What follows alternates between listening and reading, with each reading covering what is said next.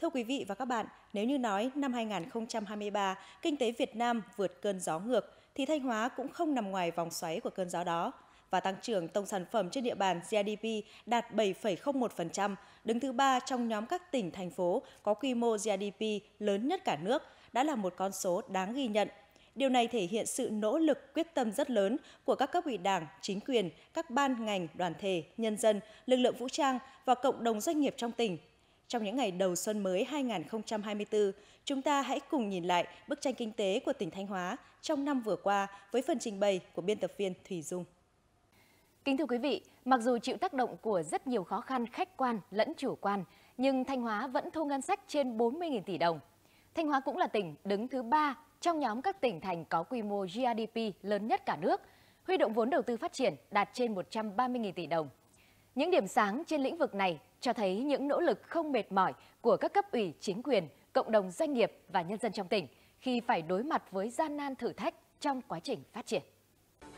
Được đánh giá là thành công khi các hoạt động sản xuất nông, lâm nghiệp, thủy sản đều phát triển toàn diện và vượt mục tiêu kế hoạch. Do đó, nông nghiệp tiếp tục khẳng định vai trò nền tảng là trụ đỡ cho sự ổn định của kinh tế xã hội. Hoạt động sản xuất nông nghiệp chuyển dần từ sản xuất nông nghiệp sang phát triển kinh tế nông nghiệp gắn với nhu cầu thị trường sự quan tâm của tỉnh ủy, của hội đồng nhân dân, của ủy ban nhân dân thúc đẩy sự chuyển biến rất tích cực của công nghiệp Thanh Hóa. Tôi tin tưởng một cách chắc chắn rằng với cách làm của Thanh Hóa trong những năm tới đây chúng ta sẽ còn thu những kết quả tốt hơn về quy mô, về sản lượng, về giá trị và đặc biệt là hướng đến thị trường xuất khẩu trong những năm tới. Khi kinh tế thế giới suy giảm, sản xuất công nghiệp phải đối mặt với nhiều khó khăn và biến động khó lường từ thị trường trong nước và thế giới. Song các doanh nghiệp sản xuất công nghiệp trên địa bàn tỉnh Thanh Hóa đã nỗ lực khắc phục khó khăn, linh hoạt ứng phó. Vì vậy, chỉ số sản xuất công nghiệp IIP năm 2023 của tỉnh Thanh Hóa đã tăng 4,87%. Doanh nghiệp chúng tôi cũng không đứng chờ đợi thời cơ vận hội đến mà chúng tôi đã chủ động à, à để làm những cái công tác giao thương chủ động gắn kết với nhau Ờ, hiệp hội doanh nghiệp thanh hóa cũng đã tổ chức rất nhiều đoàn à, đi xúc tiến đầu tư trong và ngoài nước và đi tìm kiếm cơ hội đầu tư tìm kiếm công an việc làm cho người lao động và chúng tôi đã chủ động à, gắn kết à, với nhiều tổ chức của các hội mà đặc biệt là gắn kết các hội trong vùng.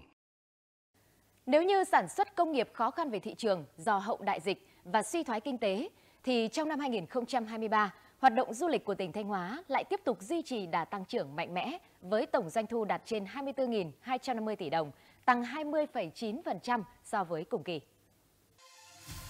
Tiếp tục đà phục hồi mạnh mẽ sau đại dịch Covid-19 trong năm 2023, du lịch Thanh Hóa bùng nổ với các loại hình từ du lịch biển đến du lịch sinh thái, tâm linh. Đây cũng là năm đầy sôi động với các hoạt động liên kết hợp tác phát triển du lịch, kết nối tour, tuyến du lịch giữa tỉnh Thanh Hóa với thành phố Hồ Chí Minh các tỉnh Bắc Trung Bộ, các tỉnh Nam Bộ, các tỉnh Tây Bắc. Đặc biệt, việc nhiều sản phẩm dịch vụ du lịch biển mới được đưa vào khai thác đã tăng tính cạnh tranh về sản phẩm du lịch với các tỉnh. Minh chứng là năm 2023, ngành du lịch ước đón 12,35 triệu lượt khách, vượt 3% kế hoạch, tăng 11,9% so với cùng kỳ. Trong đó, khách quốc tế ước đạt 616.000 lượt, gấp 2,5 lần. Năm 2023, thì ờ, lượng khách ngoại tỉnh rất là đông doanh thu từ hoạt động ờ, du lịch cũng được ờ, gia tăng và đặc biệt là với cái định hướng và quyết tâm mạnh mẽ của chủ đầu tư thì chúng tôi xác định rằng du lịch cũng sẽ là một trong những cái mảng trọng điểm trong các cái mảng đầu tư của anh Phát. Du lịch phát triển không chỉ đóng góp cho ngân sách của tỉnh mà còn kéo theo doanh thu bán lẻ hàng hóa tăng cao. Tính chung, tổng mức bán lẻ hàng hóa và doanh thu dịch vụ năm 2023 đạt gần 173.000 tỷ đồng, tăng 14,1% so với cùng kỳ. Để tạo đà cho kinh tế phát triển, tỉnh Thanh Hóa đã tập trung cao đẩy mạnh cải cách thủ tục hành chính, cải thiện mạnh mẽ môi trường đầu tư kinh doanh. Trong năm, xếp hạng chỉ số quản trị và hành chính công cấp tỉnh PAPI của tỉnh đứng thứ ba cả nước. Chỉ số hài lòng của người dân đối với sự phục vụ của cơ quan hành chính nhà nước CPAS xếp thứ 5 cả nước. Chỉ số cải cách hành chính PAR Index xếp thứ 10 cả nước. Ngoài phát huy nội lực, tỉnh Thanh Hóa không khép mình chờ nhà đầu tư mà hướng đến phát triển kinh tế mở, bằng việc tổ chức nhiều hoạt động ngoại giao, xúc tiến đầu tư ở trong tỉnh, trong nước và nước ngoài. Trong năm 2023, giữa tỉnh Thanh Hóa và Nhật Bản đã có nhiều hoạt động kết nối với chuỗi sự kiện quy mô lớn kỷ niệm 50 năm thiết lập quan hệ ngoại giao Việt Nam-Nhật Bản tại Thanh Hóa. Cùng với đó, Thanh Hóa cũng đã tổ chức đoàn cán bộ cấp cao sang Nhật Bản nhằm tăng cường mối quan hệ hữu nghị, hợp tác giữa tỉnh với các địa phương, các doanh nghiệp, hiệp hội doanh nghiệp. Chúng tôi đã tìm hiểu và khảo sát tại tỉnh Thanh Hóa, đồng thời sau khi chứng kiến những cam kết mạnh mẽ về sự hỗ trợ, đồng hành của lãnh đạo tỉnh, chúng tôi đã quyết định đầu tư một công ty phần mềm tại Thanh Hóa. Ngay sau đây, chúng tôi sẽ sớm thực hiện các bước để có thể nhanh chóng triển khai dự án. Tôi tin tưởng với sự hỗ trợ của tỉnh, chúng tôi sẽ thành công khi đầu tư tại mảnh đất đầy tiềm năng này. Cũng trong năm 2023, tỉnh Thanh Hóa đã tổ chức thành công nhiều hoạt động xúc tiến đầu tư tại Italia, Séc, Đức, Thái Lan. Tại các buổi làm việc, đại diện các bên đã trao đổi, giới thiệu về tiềm năng thế mạnh và mong muốn thiết lập quan hệ hữu nghị hợp tác trên cơ sở bình đẳng, tôn trọng lẫn nhau, cùng có lợi, phù hợp với chức năng, nhiệm vụ và thẩm quyền của mỗi bên và pháp luật của từng nước. Đặc biệt, lần đầu tiên, Ngày Italia tại tỉnh Thanh Hóa được tổ chức nhân kỷ niệm 50 năm thiết lập quan hệ ngoại giao Việt Nam-Italia đã góp phần tăng cường mối quan hệ hợp tác hữu nghị và đưa quan hệ đối tác chiến lược Việt Nam-Italia lên tầm cao mới. Chúng ta thấy là những cái sự kiện này được ờ, tổ chức tại ờ, Thanh Hóa trong một cái format mà rất là đặc biệt, ngày Ý tại Thanh Hóa với các cái hoạt động về uh, triển lãm ảnh hữu nghị Việt Nam Italia, uh, uh, hoạt động trưng bày sản phẩm tiêu biểu của Italia và Thanh Hóa hội thảo xúc tiến kết nối thương mại và đầu tư tại Thanh Hóa và đây thể hiện một cái sự những cái tiềm năng mới để phát triển hơn nữa các quan hệ hợp tác giữa hai bên. Tại tỉnh Thanh Hóa, lãnh đạo tỉnh cũng đã tiếp và làm việc với nhiều tổ chức quốc tế, các tập đoàn, nhà đầu tư trong và ngoài nước. Qua đó, vị thế và uy tín quốc tế của tỉnh được nâng cao, mạng lưới quan hệ đối ngoại đã đạt được những bước phát triển mới về chất, củng cố vững chắc hơn cục diện đối ngoại rộng mở.